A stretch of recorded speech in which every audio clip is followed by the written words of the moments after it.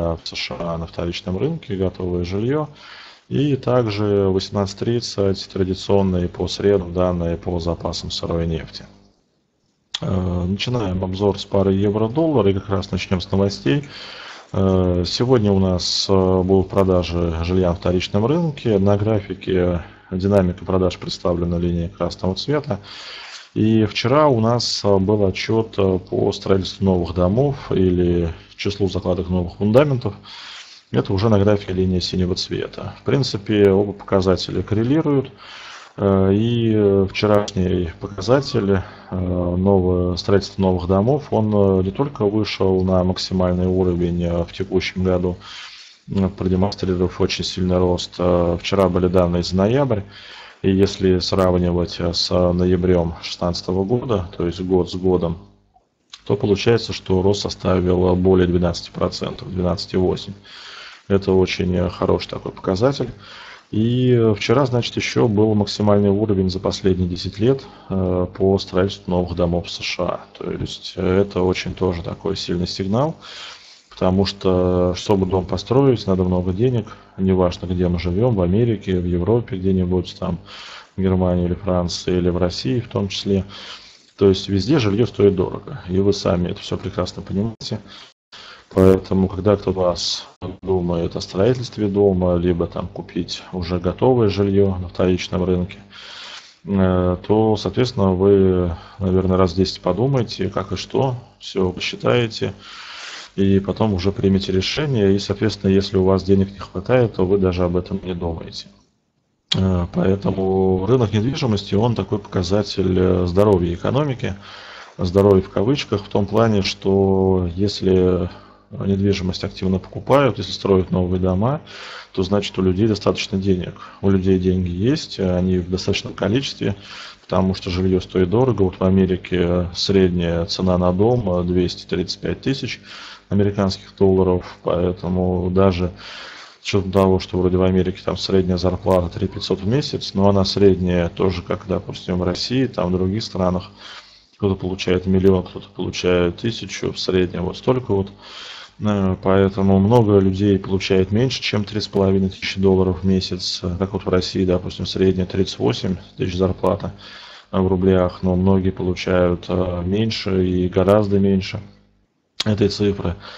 Э, поэтому тут получается, что если недвижимость покупают, дома строят, значит экономика действительно развивается хорошо. Вот, допустим, если сравнивать с Россией, проведем аналогию, то в России, наоборот, строительный сектор в стагнации находится, жилья покупают меньше, новых домов строят мало по сравнению с докризисом, то есть до декабря 2014 года, поэтому здесь как раз и получается, что ответ, он простой. Экономика вроде как э, вышла из рецессии, но очень так вяло и скромно, и рынок недвижимости показывает, что вроде кризис завершился, но при этом Э, все равно ситуация такая нестабильная.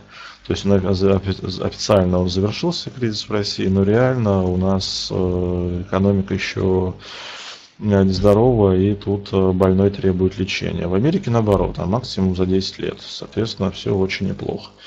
И поскольку два показателя они коррелируют друг с другом, то здесь получается, что сегодня в 18 часов мы также можем увидеть хорошие данные. Э, плюс, э, что еще хотелось бы отметить, почему, допустим, э, такой высокий спрос на рынке недвижимости в США. Здесь помимо того, что у американцев есть деньги, здесь еще и риэлторы работают активно, потому что риэлторы предлагают своим клиентам покупать жилье сейчас, то есть у нас данные сегодня за ноябрь, за прошлый месяц, и, значит, риэлторы советовали, что берите сейчас в ноябре, потому что в декабре 13 ФРС повысит ставку, все об этом говорят. Соответственно, на 0,25 ФРС повышает ставку, и ипотека также дорожает на 0,25, а то и может быть больше, там 0,3, 0,35. То есть автоматом ипотека дорожает примерно через неделю после повышения ставки Центробанка. Э, все, все коммерческие банки, они поднимают ставки. То есть вот неделя прошла, ровно сегодня как раз неделя. И получается, что сегодня в американских банках э, уже будут новые ставки по ипотеке, они будут выше. Соответственно, ипотека станет дороже. Поэтому клиентам, риэлторы советуют, берите сейчас, пока ипотека подешевле. Поэтому тут тоже такой вот эффект, что до ФРС. И здесь получается что значит? Здесь получается хороший данные, это хорошо для американского доллара. По рынку облигаций у нас спред Германия, США находится не на минимуме текущего месяца, здесь динамика с начала декабря. Мы видели, спред снижался, потом отскок вверх, но спред не на минимуме, но тем не менее он все равно снижается. Он снижается, при том, что пара выросла, поэтому если вот здесь все это суммировать, то получается пара забралась высоко, Э, и текущие уровни, они интересны для того, чтобы пару продать. То есть текущий уровень 1.1834, чтобы пару продать. И здесь э, ждать снижения э, к нижней по Боллинджеру на часовиках это 1.1801. Если смотреть непосредственно на ADX, то у нас часовки находятся во флете, как и дневки, дневки причем в еще более узком флете 12. И здесь у нас получается, что Э, сегодня в Азию была у нас дивергенция по RCI. Э, пара э, у нас сходила на максимум, при этом RCI на максимум не сходил. И здесь тоже сигнал получается вниз. Уже начали падать предыдущий час, и я думаю, что падение продолжится. Поэтому сейчас уровень 1.1834. Он интересен, чтобы нажать кнопку Sell, то есть продаем на текущей отметке и цели 1.18. Э, вот такая цель. Э, внизу есть уровни поддержки 1787, 1724. Тут не знаю, может быть дойдем, может быть нет. Почему не знаю? Потому что, в принципе, сегодня-завтра последние такие активные дни в этом году на торговый, потому что уже впереди Рождество католическое, в понедельник оно будет, и вы сами видите, что рынок уже вялый начинает такой вот быть. То есть уже, в принципе, на этой неделе мы не видим сильных движений, все так достаточно скромно, спокойно хотя до праздников еще время есть. То есть уже как-то вот за неделю до каникул этих рождественских рынок уже спокойнее стал. Поэтому, может быть, даже и сильного падения не будет, там, допустим, ниже, чем 17.87. Э, Но вот куда-то 18.01, 17.87, я думаю, туда рынок сегодня сходит. Э, округлим до 18.01, до нижней по Боллинджеру на часовом графике. Уважаемые коллеги, задавайте, пожалуйста, вопросы по паре евро-доллара, и я на них с удовольствием отвечу. А пока пишут свои вопросы, мы тогда рассмотрим пару фунт-доллара. Здесь у нас тоже такой рынок, в принципе, вялый. И, в принципе, если бы у нас э, было обычное время, то я думаю, что пара вчера вот она падала у нас до 1.33.30, но я думаю, она бы упала еще сильнее она бы упала ниже, чем 1.33 и ушла куда-нибудь на 32.50. Э, но сейчас вот именно такой период э, до рождественских праздников остается 5 дней, и э, в принципе тут рынок пока уже, видимо, готовится к этим праздникам и не хочет особо так вот сильно двигаться, потому что спред Великобритании-США продолжает падать. Э, на графике это линия синего цвета. Здесь э, вчера говорили о минимуме за 7 месяцев, вчера уже новый минимум сделали там за 7,5 месяцев. Э, спред упал, причем упал сильно, и вчера тоже пара падала, но только дошла до 33.30, потом сейчас отскочила вверх, сейчас котировка 33.91. На мой взгляд, сейчас будет такая же ситуация, как и вчера. То есть э, вчера у нас как получилось? Открылся Лондон в 11 часов по Москве, открылись на 33.97 и упали на 33.30. Э, сейчас примерно те же самые уровни, сейчас 33.92 и до открытия Лондона 20 минут. я думаю, что сейчас будет такой же сценарий, как и вчера, открывается Лондон и начинают падать. Э, поскольку рынок не хочет сильно падать, то тогда Э, округляем цель до вчерашнего минимума 33.30, а туда шансы очень хорошие, чтобы упасть. Э, здесь, значит, у нас спред э, на минимуме и пара будет падать из-за этого. Плюс новости, которые мы сейчас рассмотрели, 18 часов по строительному сектору в Америке, по недвижимости, они тоже хорошие для американского доллара. Поэтому здесь получается, что в целом для доллара все очень даже и неплохо. Поэтому здесь э, продаем, а когда можно продавать, можно в принципе и прямо сейчас, не ждать Лондона, не ждать эти 20 минут, э, продавать прямо сейчас 33.91 с целью 33.30. Можно подождать открытия Лондона. То есть мы завершим наш вебинар, как раз откроется Лондон, и в 11 часов продать также цель 33.30. А, теперь следующая наша валютная пара, пара доллар-японская иена. Здесь хорошая тенденция к росту. Э, тренд усиливается восходящий, и э, тренд этот э, вызван по большей части даже не столько какими-то факторами непосредственно в доллар-иене, сколько американским фондовым рынком. Американский фондовый рынок тоже готов к новым рекордам. Вчера была небольшая коррекция, но ее выкупили и выкупают сейчас по фьючерсу, и фьючерс движется вверх, поэтому если вчера позиции открывали по S&P с целью 2710, надо их держать. Если без позиции, то по S&P хороший сейчас уровни 2690, цель та же самая 2710. Э, вчера, значит, что у нас было на повестке дня в Америке? Это подписание Сенатом э, налоговой реформы, которую Трамп инициировал. Он, когда проводил в прошлом году предвыборную кампанию, он заявил, что это э, его, скажем так, одна из основных задач – на посту президента реализовать э, непосредственно э, уже вот эту самую налоговую реформу, налоговое стимулирование, и, соответственно, вчера Сенат это принял. Теперь уже дело за Палатой представителей, и они тоже будут э, за это значит, голосовать. То есть там у них получается такая вот э, двухуровневая система. Сначала Сенат, потом Палат представителей, потом уже идет на подпись президенту, как, допустим, в России. Сначала в Госдуме, потом Госдума передает Совет Федерации, Совет Федерации относит президенту, он подписывает. Здесь все то же самое.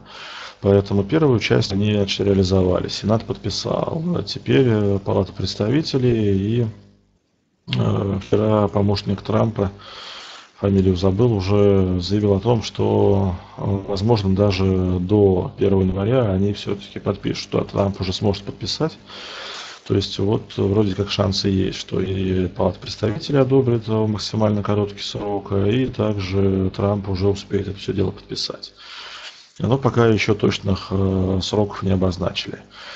Э, но вчера, значит, что? Вчера было дело за Сенатом, Сенат свое дело сделал. Теперь ко второму этапу все перешли. Поэтому тут э, получается, э, что для американского рынка это позитив, потому что если бы Сенат не подписал, то дальше это бы дело не прошло. То есть Сенат, он, скажем так, первая такая инстанция, которая либо да, либо нет. Соответственно, если нет, то все, значит. Поэтому здесь э, дело движется дальше. Потихонечку все как и планируют э, там в Америке. Поэтому тут американский фондовый рынок идет вверх, и, соответственно, пара доллар-иена, которая с этим самым фондовым рынком коррелирует, тоже идет вверх. Спред США-Япония вчера вышел ни много ни мало на минимум за 4 месяца как раз э, именно о том, э, что здесь э, получается вот этот самый Сенат одобрил, значит, непосредственно налоговую форму, и здесь резко подскочили доходности по непосредственно американским государственным облигациям. Японские облигации доходность стояла на месте, спред расширился и спред на 4 максимум тоже сильно такой показатель. Э, здесь на графике у нас спред США-Япония линия синего цвета, он резко пошел вверх э, и вчера, и сегодня. Сегодня в Азии рост продолжился, и пара тоже растет, но отстает, поэтому ей еще можно догонять. Э, поэтому здесь получается, что надо покупать пару, он сейчас обновил вчерашний максимум с 13.07. Сейчас котировка 113.09, покупаем, и здесь э, у нас э, первая цель это уровень сопротивления 113.43, вторая цель это 114.09. Э, вот две такие цели у нас на сегодня. Коллеги, я вижу ваши вопросы в чате, и сейчас на них отвечу. Мурат, благодарю вас за вопрос. Здесь вы, наверное, как раз и имеете в виду то, о чем я и сказал, что Сенат одобрил налоговую реформу, теперь будет э, голосование уже непосредственно в Палате представителей. То есть это не вот что повторное голосование. Сенат повторно голосовать не будет, он уже проголосовал, теперь Палата представителей. Это как э, у нас в России сначала Госдума голосует, потом Совет Федерации. Потом дальше на подпись президента идет. Поэтому здесь вот такая вот ситуация. Э, и, э, значит, э, что у нас в итоге получается? Здесь, я думаю, что даже если, допустим, они там в палате представителей все это дело завернут, конгрессмены, то это дело, наверное, завернут не сегодня, не завтра, потому что там тоже все это дело такое не быстрое, поэтому я думаю, что сегодня в целом все позитивно. Вчера проголосовали, это все очень здорово. Э, и сейчас новости будут хорошие, поэтому именно сегодня, на мой взгляд, для доллара все позитивно складывается.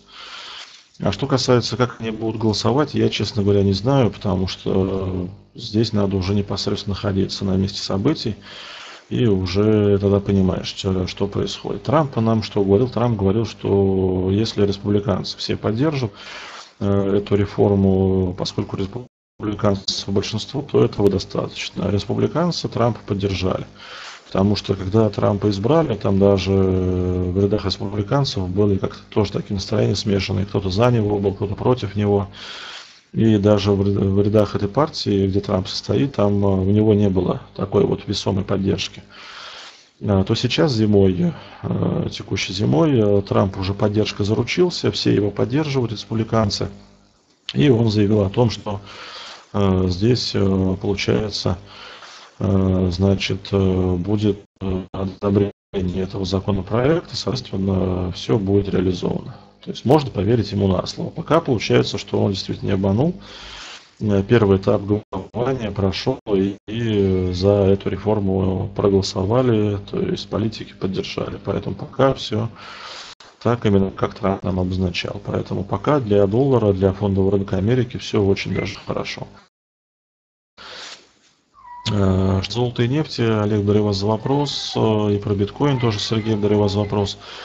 Э, по золоту нефть, смотрите, получается следующее. Золото я бы сейчас не трогал, потому что у нас здесь дневки так и не вышли восходящий тренд. Краткосрочные таймфреймы в часовке вышли, но дневки не вышли. Я бы не трогал. Почему золото? Потому что золото с фондовым рынком торгуется в разных направлениях, американским. Американский фондовый рынок готов к новым рекордам. И здесь э, получается, что э, у нас э,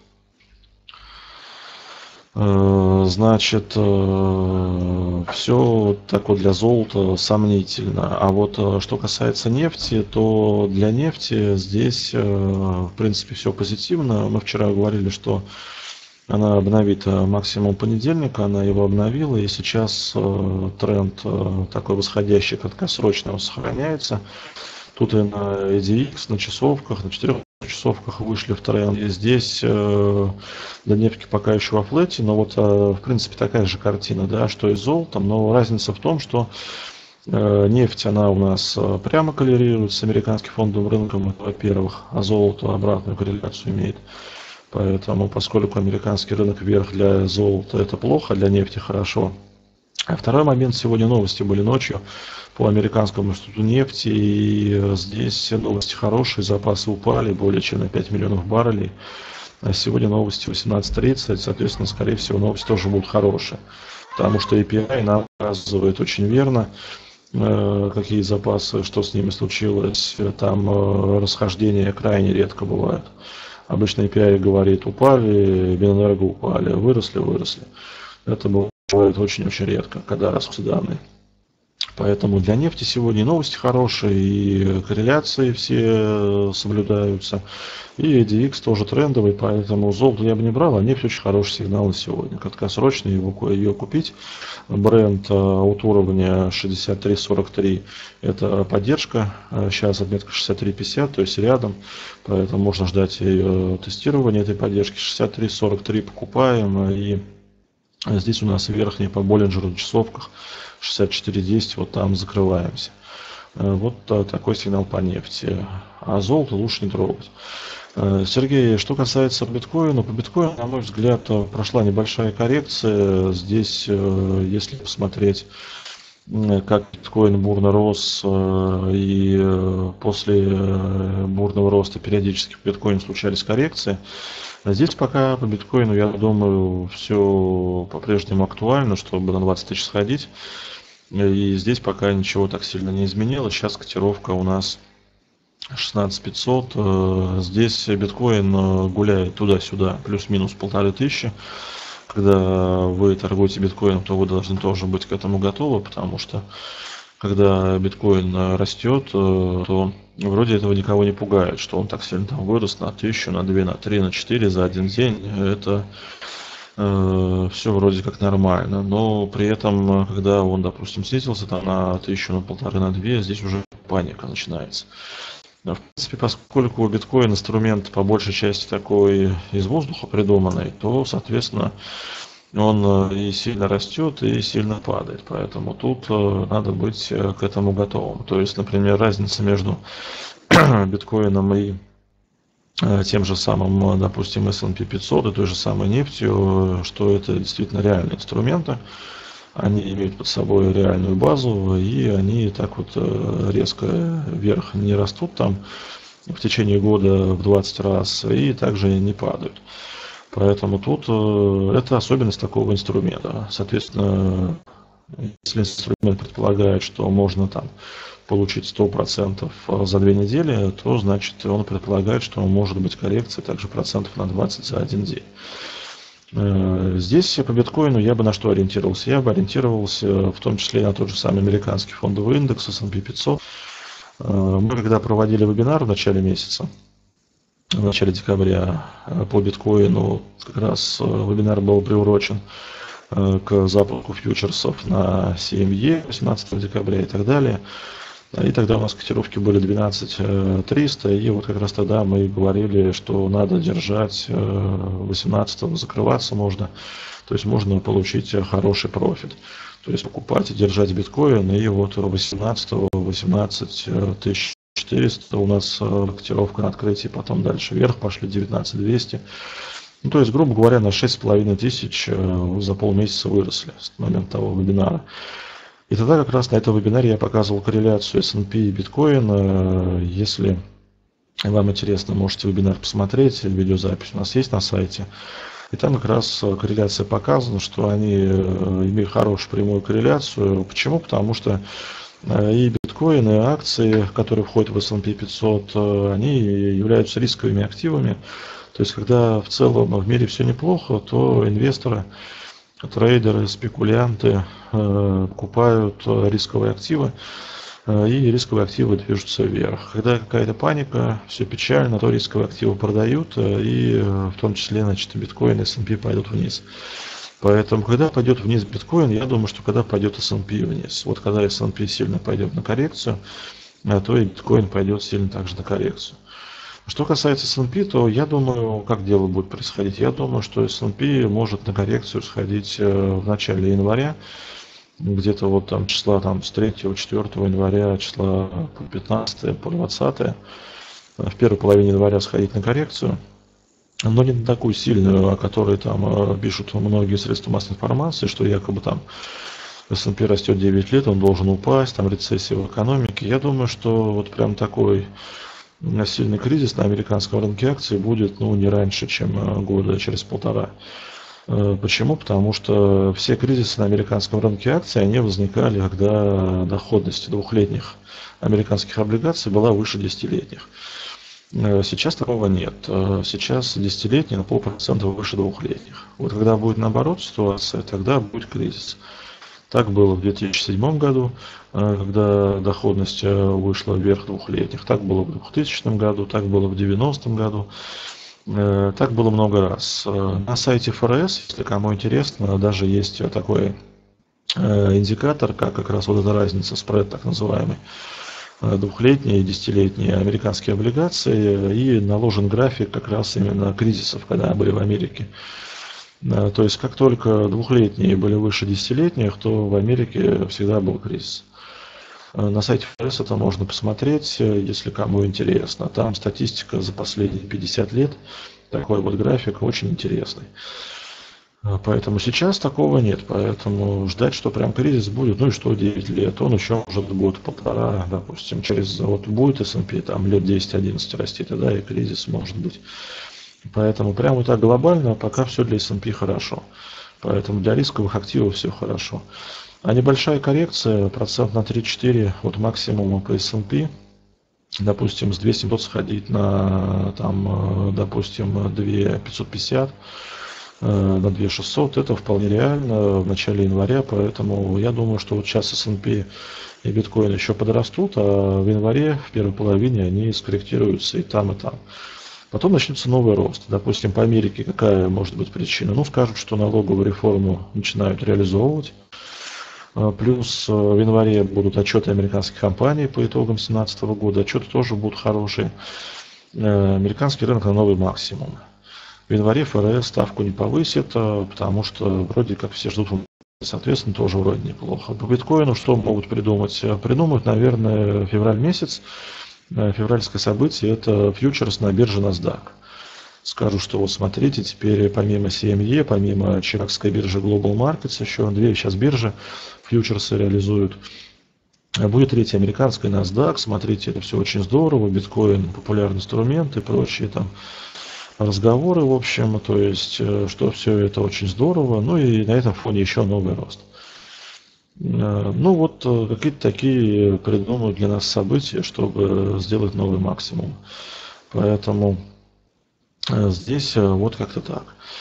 Поэтому я думаю, что и биткоин, и S&P подрастут еще, а потом в начале января будет падение по обоим инструментам. Коррекция. Потом новый будет рост. S&P, я думаю, 3000 в следующем году сделает. Биткоин, тут я не знаю, честно говоря. Тут может быть и 25 тысяч, может быть и 50 тысяч. Э, никто же не думал, что биткоин сделает 19 тысяч да, в декабре, но он сделал, поэтому кто его знает, может быть и 50 тысяч. То есть, ну, насколько хватит у людей фантазии, столько они поднимут биткоин. Что касается рубля, Мурат, благодарю вас за вопрос. А, вы знаете, по рублю я думаю, что начинается падение российской валюты а, постепенно. И э, здесь э, я думаю, что рубль к доллару начинает двигаться сначала на 60, а потом на 61. 61, я думаю, будет либо в конце января, либо в начале февраля. И здесь связано с чем? Ну, связано с тем, что просто начинают продавать рублевые активы. Это видно уже по российскому фондовому рынку. Посмотрите на такой инструмент, как э, Сбербанк. Это основная российская акция, она падает на этой неделе. Ее продают и в Москве на бирже, и в Лондоне на бирже. Начинают продавать потихонечку российские облигации. Начали с облигаций корпораций, потом и до УФЗ. Э, я думаю, что это просто коррекция. Коррекция э, с чем связана? С тем, что будут новогодние длительные такие каникулы до 9 января в России. И, э, видимо, не хотят брать риски для себя вот эти вот самые такие длинных праздников. И боятся, в том числе и санкции, как они тут отразятся, непонятно. Никто еще толком не понимает. Вот эти новые санкции, которые в августе подписал Трамп они должны стартовать то ли с 1 января, то ли с 1 февраля. Они тоже толком еще не решили, когда они это сделают. То есть 1 э, февраля точно, может быть даже 1 января. Уже некоторые санкции в отношении банков начали действовать 23 ноября. То есть уже они почти месяц действуют э, в отношении того же Сбербанка и ВТБ, крупнейших банков. Поэтому тут э, тоже люди боятся, раз все выросло, раз вырос рубль, то есть посмотрите вот на график рубля, сколько он у нас э, был в начале этого года. Котировка у нас была 61.50, сейчас 58.70. Все равно, получается, рубль укрепился, а в течение года еще ниже ходил. Поэтому тут и по рублю э, рост, и по облигациям рост, и по акциям очень сильный рост. Сбербанк тут самый на историческом максимуме был не э, так давно, в этом месяце 233. Э, то есть э, просто закрывают позиции, не хотят рисковать. Поэтому сейчас по рублю я думаю, что вот так вот. Насколько это прям краткосрочно, затрудняюсь ответить. Я бы смотрел именно с прицелом до 1 февраля, вот на полтора месяца. А почему? Потому что сейчас рождественские каникулы, и тут непонятно, будут сильные движения, не будет. Потом в России выходные, тоже непонятно тут, э, как все это будет. Поэтому прямо вот сегодня-завтра я бы так не брал, потому что ну, тут торговля уже завершается в этом году активная. Поэтому тут краткосрочно сложно что-то говорить. А вот к 1 февраля 61 или около него я вот э, вижу такой уровень. Уважаемые коллеги, благодарю вас всех за внимание. Также хотелось бы сделать небольшие объявления. Завтра у нас будет четверг, два вебинара, значит, как обычно, в 10.30 обзор рынка и в 18 часов поговорим об особенностях краткосрочной торговли. Завтра именно поговорим о том, как торговать внутри дня в течение одного-двух дней, какие индикаторы использовать, э, что с новостями делать, торговать, не торговать, какие новости торговать какие корреляции использовать, то есть в какое время торговать, э, что нужно делать, целый день сидеть у монитора или все-таки пару часиков поторговать активных и все. То есть завтра такие вот вопросы мы все рассмотрим, э, будет много интересных графиков э, и вот такой вебинар проведем. И на будущей неделе у нас тоже будут э, вебинары, еще неделя у нас последняя в году остается, и два будет вебинара 28 декабря, четверг я проведу вебинар, как обычно, и 26 во вторник у нас будет специальный гость, 6 вторник в 18 часов будет очень интересный вебинар и необычный вебинар. Такие вебинары у нас редко проходят. Э, гости у нас э, будет финансовый советник Татьяна Леднова, э, директор компании Ford Capital. Она нам расскажет о финансовом планировании для трейдеров, для инвесторов. Будет такой очень интересный вебинар. Договорились мы с Татьяной провести такое вот выступление. И во вторник, 26 18 часов, она как раз и вам расскажет много интересного о том, что такое финансовое планирование, для чего это необходимо. Э, и много чего еще интересного она расскажет. Поэтому вот сразу заранее такой небольшой анонс, чтобы вы тоже себе планировали, э, выделите час времени. Во вторник, 18 э, часов по Москве, часовой такой будет вебинар, будет много интересной и новой для вас информации. Я и сам тоже с удовольствием послушаю, поэтому всех вас также приглашаю, в том числе и на этот вебинар. Э, вторник, 26 декабря. Э, уважаемые коллеги, завершаем наш вебинар. Все анонсы я сделал. Благодарю всех за внимание. Всем успехов. И завтра я вас всех буду рад видеть на